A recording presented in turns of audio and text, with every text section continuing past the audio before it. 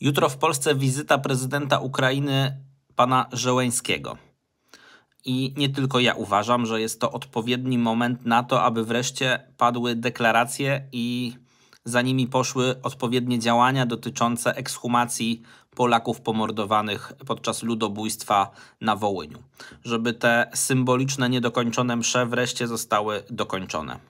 Jeśli do tego nie dojdzie, to już 11 lipca podczas kolejnej, już 80. rocznicy Krwawej Niedzieli, czyli kulminacji ludobójstwa, może dojść do jakiejś prowokacji ze strony rosyjskiej, a na pewno rosyjska propaganda będzie to wykorzystywać, mówiąc: Patrzcie, Polacy pomagacie tyle Ukrainie, a jak oni się odwdzięczają.